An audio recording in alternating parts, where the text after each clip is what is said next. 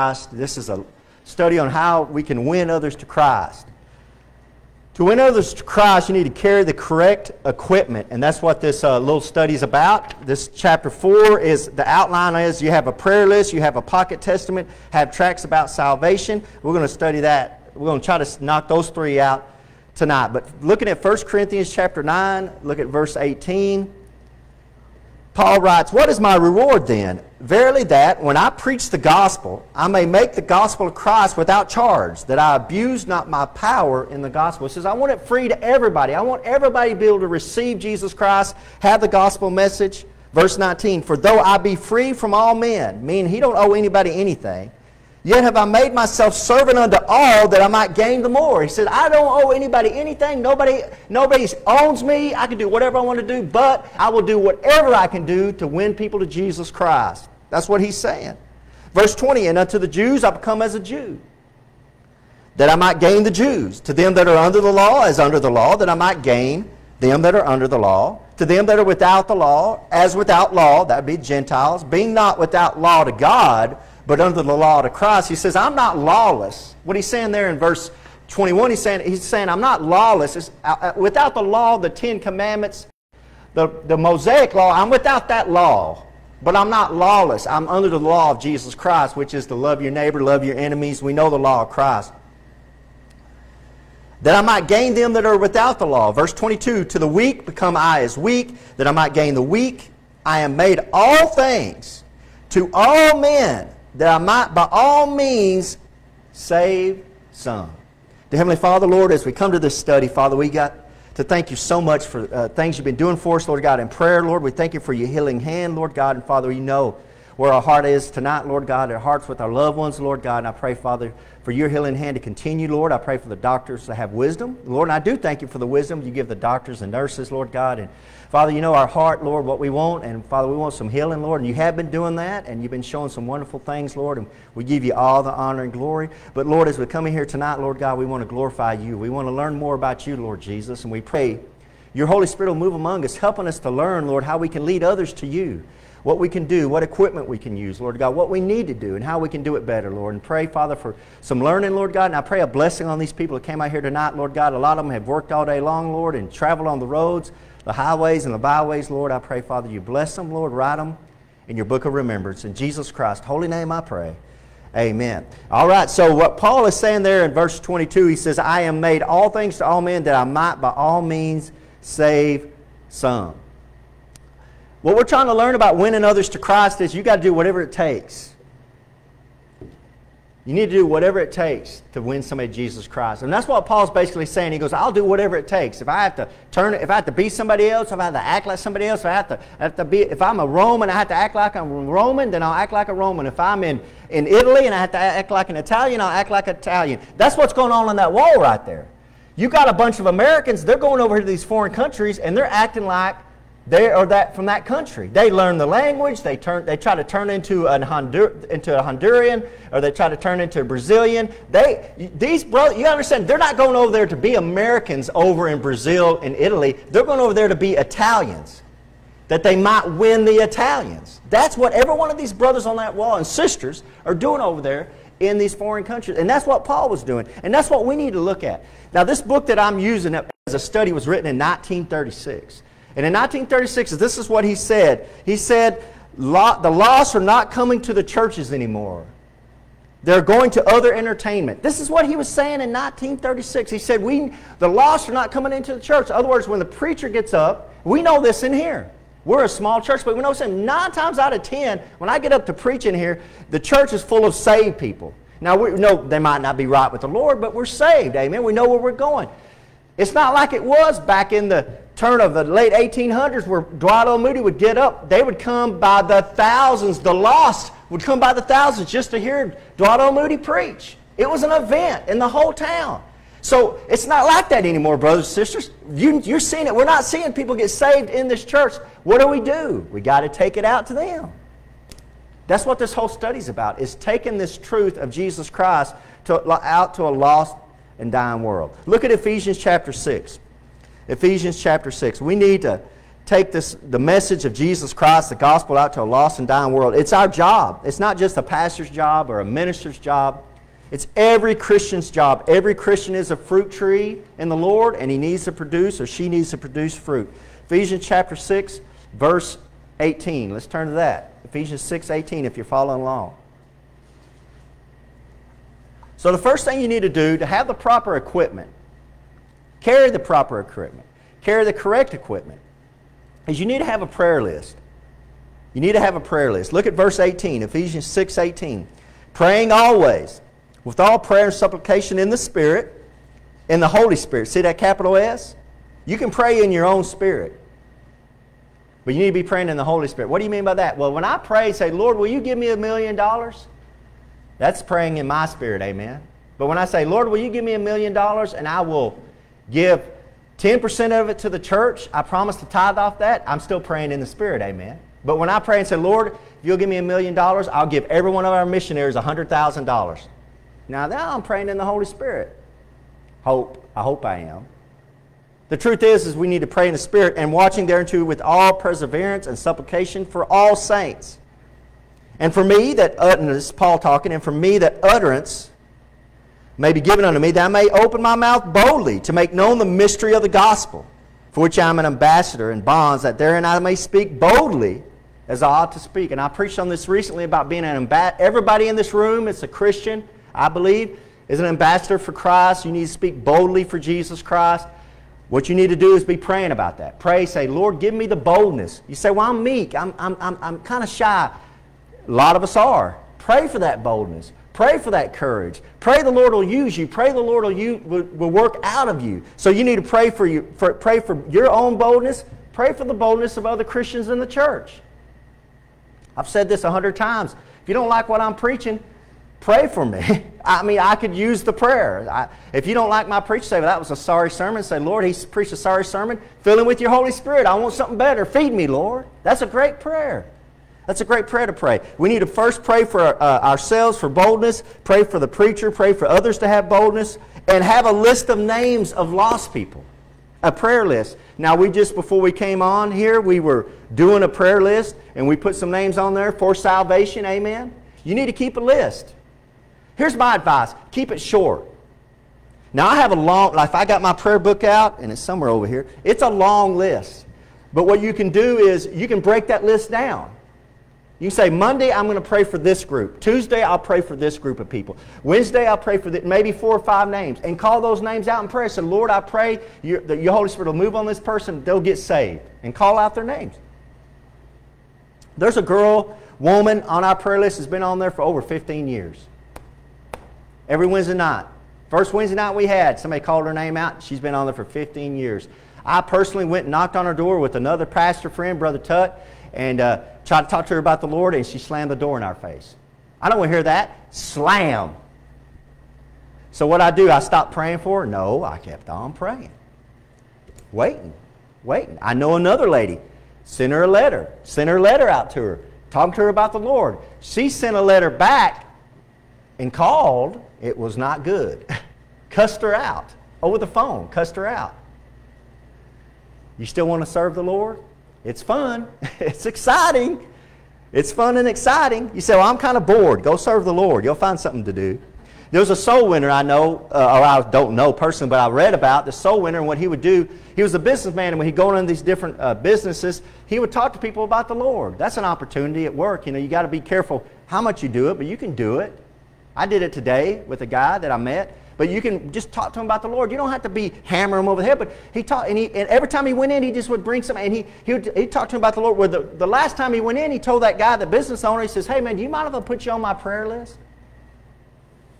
And the business owner was like, no, I guess I don't mind that. And the guy turned around and said, okay, well, write it down right here. Write your name down right here. You had the guy write his own name on that prayer list. He said that guy's hand was trembling. It didn't take too long till that guy got saved. And that guy that got saved led somebody else to the Lord who ended up winning thousands of people to the Lord. You don't know who you're affecting what you're going to do. But it takes that kind of, that kind of thinking. God, think out of the box. I'm going to give you some, uh, some ideas, but do your own thing, amen? I'm just giving you some ideas I've come up with, or I've heard other preachers tell me, or I've learned over the years. I'm not right. It might not be the right way to do it. Come up with something. If you come up with something really ingenious that the Holy Spirit's given you, please come tell me so I can have it. Amen? We're all in this together.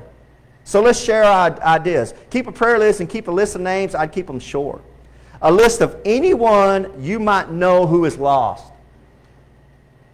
That's why when I called out earlier tonight, I called out, you know, anybody y'all put on the prayer list for that's lost. I know we put a lot of names on there, but there surely there's somebody you can think of that's lost. Have a pocket New Testament. Turn to Acts chapter 8. Turn to Acts chapter 8. Here's another good, here's some good advice. Now, most of us know to have a prayer list. Most of us know to pray, but the second point is have a pocket New Testament. Turn to Acts chapter 8, verse 26. Acts chapter 8, verse 26. A pocket New Testament. This, is, of course, is the story of the Ethiopian eunuch that's coming back from Jerusalem, and the Lord is going to send Philip down there to talk to him. Verse 26. And the angel of the Lord spake unto Philip, saying, Arise, and go toward the south unto the way that goeth down from Jerusalem unto Gaza, which is desert. And he rose and went. Now look, the Lord just pressed on his heart and told him audibly, Hey, go to this desert place. There's nobody down there, amen. It just says it's a desert, which is desert. Sometimes the Lord will send you in some weird place. Okay, when I was in Pensacola at school, you ever watch the Drawing Men to Christ that Dr. Ruckman did on TV? That was based out of San Antonio. Guy down in Beeville, Texas. And he's the one that got Dr. Ruckman on TV. It got on Direct Net, D D Dish Network, Direct TV. It was on there where he was drawing men to Christ. That man came into our class and he told a story. He's down from Beeville, Texas. He said, One time I was driving along and I had a, I had a flat tire, blew a tire, had to change tire. He said, I literally was, I was fuming, cussing mad. Finally got to the tire station, sitting in the tire station. They said, okay, it'll take 10, 15 minutes. We'll get you a new tire on there. He said, an hour later, I was sitting there. Two hours later, I was sitting there. Three hours later, and they're not fixing my tire. He said, the whole time I said, I'm getting madder and madder, and I'm fuming. I had places to be, I had places to go. And he said, right about that time, this guy walks in, comes in and sits next to me, and starts talking to me about how he doesn't know God. That brother, uh, I wish I could think of his name. It slipped my mind. That brother down from Beeville, he said, I, I automatically knew what was going on. I knew exactly what was going on. God had made a divine appointment in my life. God had designed all this to happen so that guy that was looking for him would find me, he said, and I could lead him to Jesus Christ. And he said, right there, I led him to Jesus Christ. This brother was crying while he's telling the story. Why was he crying? He said, Because you never know how God's working in your life. And here's Philip being told, Go off into the desert. Philip's like, There's nothing out there. All right, Lord. And praise the Lord, Philip obeyed. Amen. So sometimes the Lord puts stuff into your life, things happen in your life. You have a flat tire, you run into something, something, there's some delay at the grocery store, some delay somewhere. Man, you better keep your eyes and ears open. The Lord might be trying to make a divine appointment to get you set up because the Lord knows He can use you to tell them about Jesus Christ. So Philip goes down like he's commanded. He arose and went, and behold, a man of Ethiopia, a eunuch of great authority under Candace, queen of the Ethiopians, who had the charge of all her treasure, and had come to Jerusalem for to worship. So he see he was trying to worship God, but not in truth.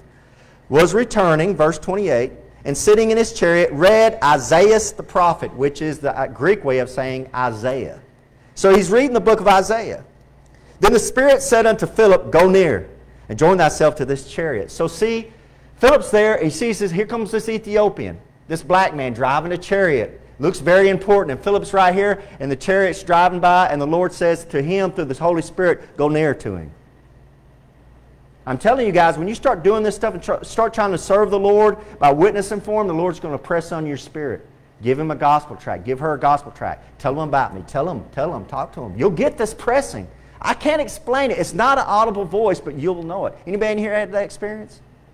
There's a couple of hands raised up. Y'all are brave. Yeah, it's hard to explain, but it just happens. Join thyself to this chariot, verse 30. And Philip ran thither to him and heard him read the prophet Esaias and said, Understandest thou what thou readest? So he sees that he's reading the book of Isaiah and he said, Hey, do you know what you're reading? And he said that the eunuch said, How can I? Except some man should guide me. And he desired Philip that he would come up and sit with him. Amen. That's what happens.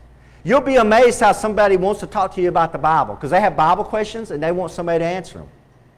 And you'll be amazed how you'll have the answer when you really don't think you're going to have the answer. Don't be scared. Nobody has all the answers.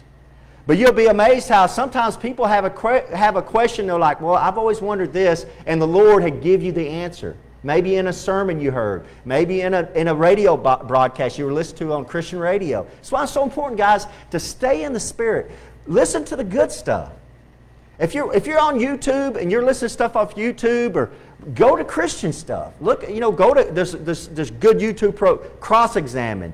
J. Frank Waller, Warner Wallace, he's got a good channel. He did, did little six, seven minute long questions that people ask about Christianity. You, you can listen to that, it gives, it gives you some ideas. Well, here's what he is. He wants to know, what does this Bible mean? Verse 32, the place of the scripture which he read was this.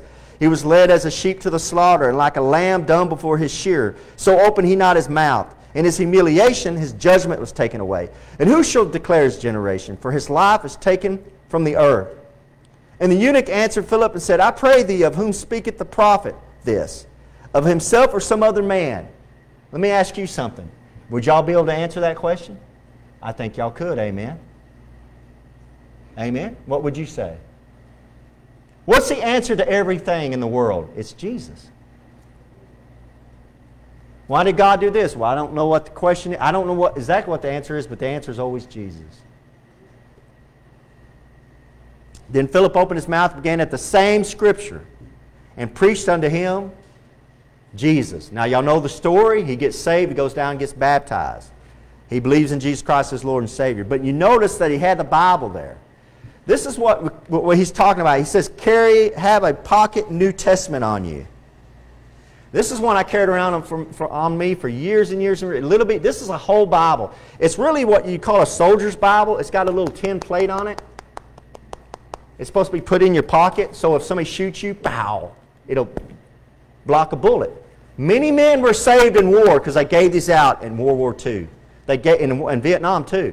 They'd give you these Bibles that were, most of them were done by the Gideons, and they had a little metal plate in there. The Lord is my strength and my shield. You'd put it right in here, a bullet would be stopped by this Bible. But I would use this. You know why I stopped using this? Because one day I was at a hospital and I was talking to somebody about the Lord, and I said, Well, let me open up and let me read that to you. I opened up the Bible, and this is what I did.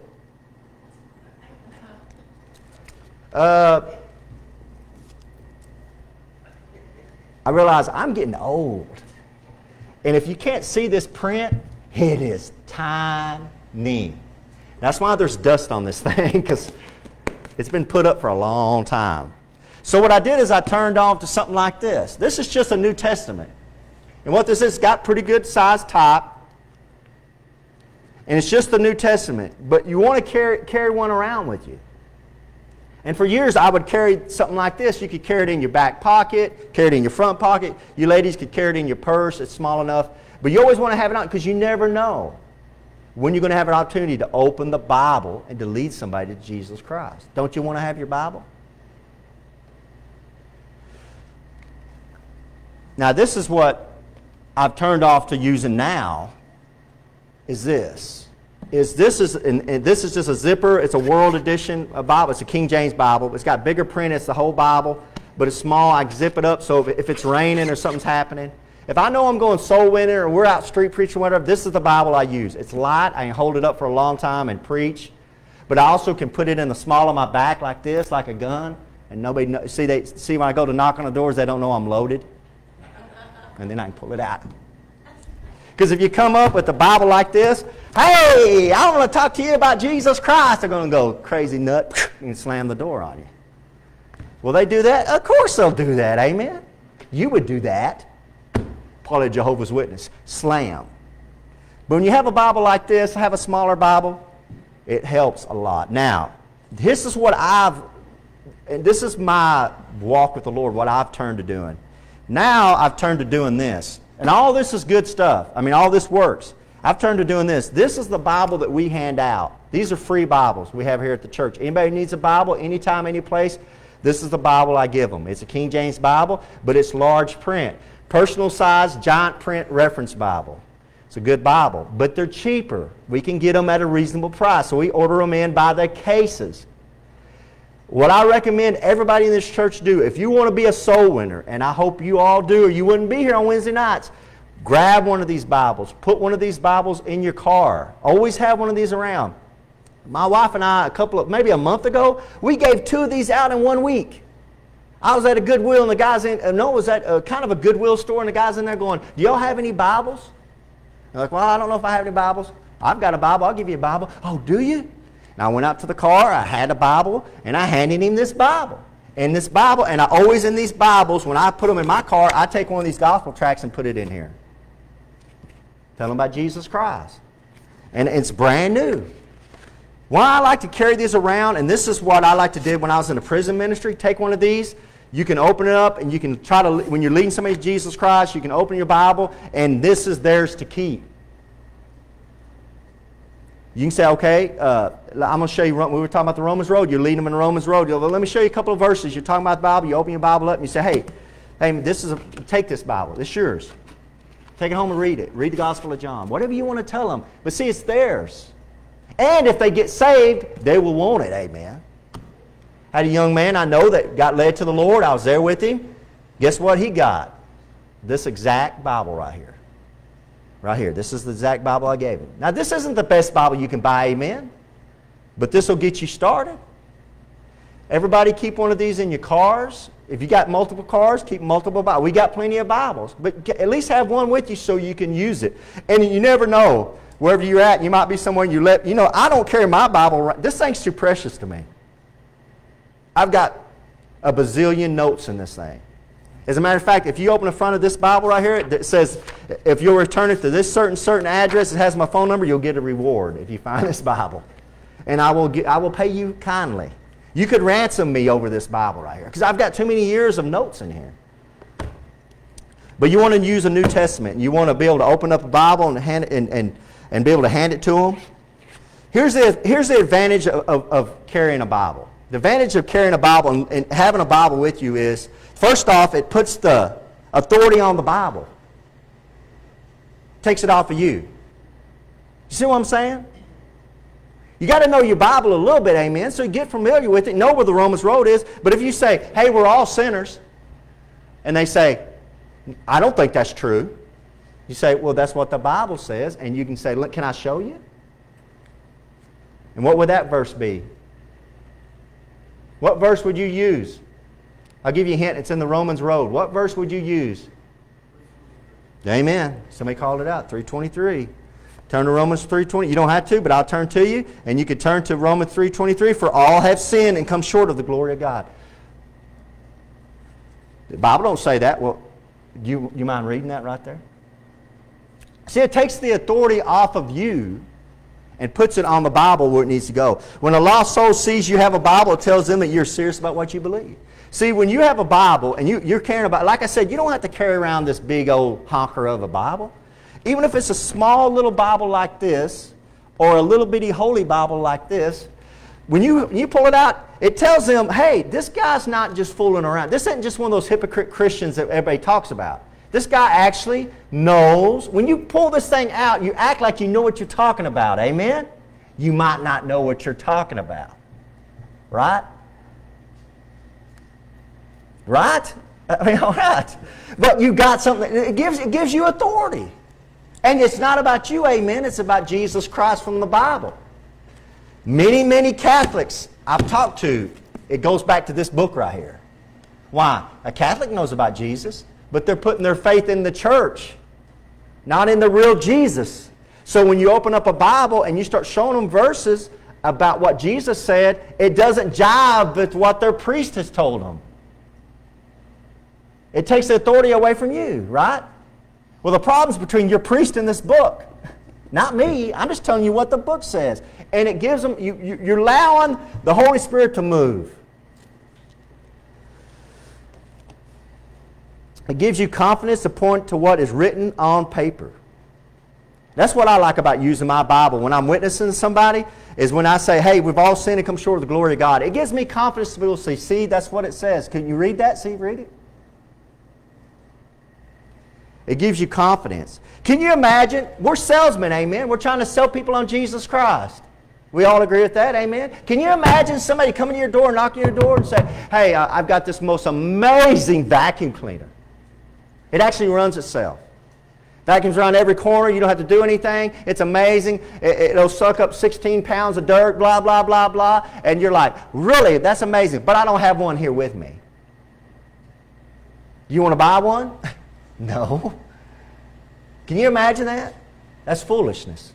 If you're trying to sell somebody on Jesus Christ, this is how you're going to sell them.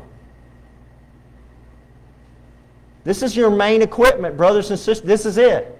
That's why I encourage you to read it every day. I encourage you to study it. You're not going to get all you need from just coming Sunday and Wednesday night. You need to get it, you need to get it yourself. If you got questions about the Lord, I don't know what question it might be. What, let's just, I'm going to throw this out there. Let's say you have a question like this, because I had a man ask me one time a question like this, like, where in the Bible does it talk about homosexuality? I had a guy say, I had a man tell me, a grown man tell me, the Bible doesn't speak against homosexuality. Well, guess what? I couldn't actually turn to the verse and show him. I was a young Christian. But you know what I did? I went home that night, and instead of turning on the TV and watching the slop that's on TV, I got out my concordance. I started looking, and this is before the internet. This is 1994, 93. Before, way before the internet, I got out my books, my concordance. I studied all night. So the next day, guess what, I, what happened when I came to work? I had the verses to say Romans chapter 1, Leviticus chapter 18. You know what happened when I showed him the Bible? You know what he did? I guess I was wrong. I guess I was wrong. It's hard to speak against the word, brothers and sisters. It prevents argument. Just like the illustration I give you, it prevents an argument. Whenever you can show somebody the Bible and they say, "This is what this is the art, this is the illustrate, this is what I'm trying to tell you." You talking to somebody about Jesus Christ, you trying to talk to them about the Lord, you pull out this book, nine times out of ten, the first thing out of a lost man or woman's mouth is, that book is just written by men, it's full of errors. That's what they're going to tell you. Now, when they say that, this is what I always do. You do what you want to do, this is what I always do. Show me. I've never found one. Will you show me? They've never shown me one. Not one. They've always heard that. They just say that. What do you do then? Well, can I show you what the Bible says? Because I've looked, I haven't found one. I mean, you're not trying to be rude, right? You're just trying. The point is, Jesus Christ did this through his whole ministry. When they would attack him, you know what he'd do? He would attack them with a question. That's how you do it. When they get you and say, well, that Bible's full of errors, well, show me. Will you show me one? You don't have to be rude. Amen. You say, well, I really want to know. Do you know where that's at? Because I'd love to talk to you and show. Maybe we can look at it together and I'll show you. Because sometimes, even if they do show you one, it's amazing what they think's an error. Had, years and years ago, I had this guy arguing with me on the internet. He was an atheist. He said the Bible's full of errors. It's just full of problems and full of errors. And I, on, the, on the internet, I said, well, show me one. So he Googled up. I know that's what he did, amen.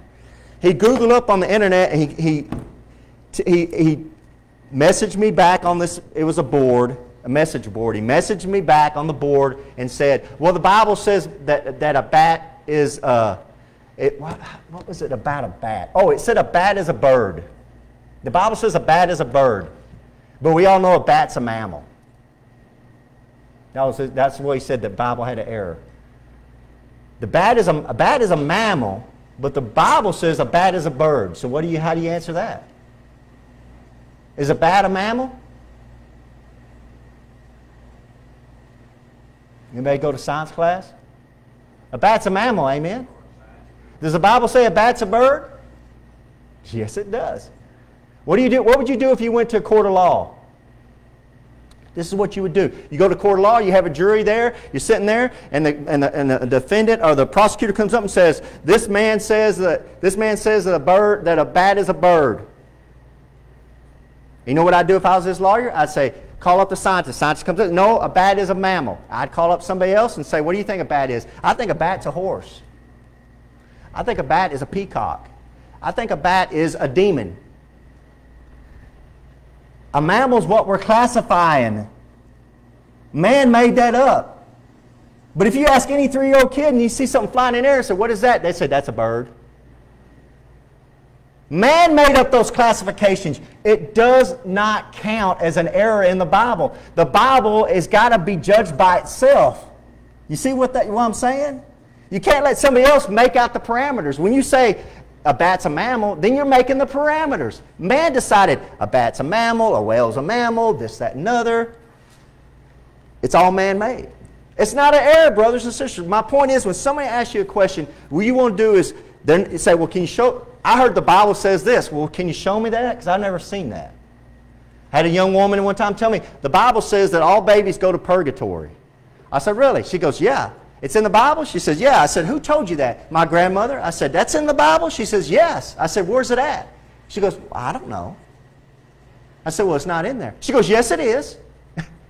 so I left my living room, went and got my Bible, came back. This was when I was like 21, 22. Young Christian came back in there and said, show me. Well, well I, don't, I don't know where it's at. Well, then it's not in there. And guess what I found out after I studied? It's not in there. Her granny was wrong.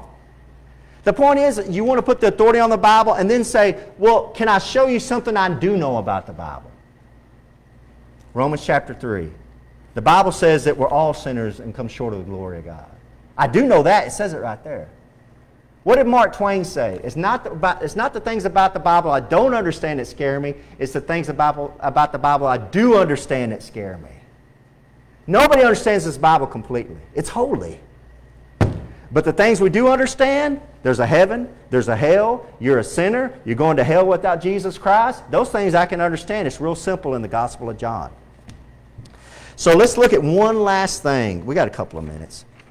No, let's just close here. I don't, I don't want to go long on you guys. I go long every Wednesday night and wear you guys out. I don't, I don't want to do that. I will save it for next Wednesday, Lord willing. Come on in here next Wednesday and we will, we will get it going. Because that's about 30 minute study. That's good enough. I know y'all been working all night long. I mean, all day long. Y'all come in here. But guys, I can't encourage you enough. We got these in the back. Pick these up. Pick you up some of these. We got plenty. And if we run out, that's what we have money for. We'll order some more. We get plenty of these in. And, and, and have them in your car so if you get an opportunity, you can hand somebody out. Even if you don't want to, you don't have to be witnessing to them, amen. It don't have to be like you've been in some long study. Just say, hey, do you want a Bible? I got one. You want, it's a free, it's brand new. You'd be amazed how many people take you up on the offer. We hand these out a lot of these out when we were at the, the last festival we were at. We handed out tons of Bibles. Tons of them. And the Gideons were handing out Bibles down there. But see, this is a full Bible. And you'll be amazed how many people want to have a King James Bible. They heard enough and know enough to say, yeah, that's the one my grandmother used or my granddad. That's the one my uncle says is the best. Yeah, I'll take that one. The truth's still out there. Amen? All right.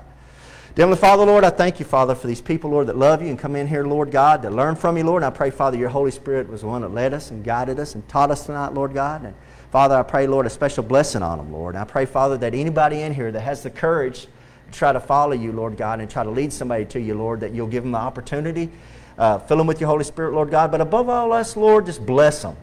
Uh, give them that joy that only comes from serving you, Lord God. And Father, I pray, Lord, and thank you, Father, for the healing you've been giving Brother Ronnie, Lord. I pray you continue to heal, heal him up, Lord God. And pray will you be with everybody on our prayer list that was called out tonight, Lord God. And Father, I thank you for your word, Lord. I thank you for your enduring word that I can stand on its authority and open it up and say, Thus saith the Lord. And it's not about me, it's not about my opinion, it's about what you've written, Lord, and what you're putting into this book, Lord. And I thank you for it. In Jesus Christ's holy name I pray. Amen. All right, we'll stop there, guys.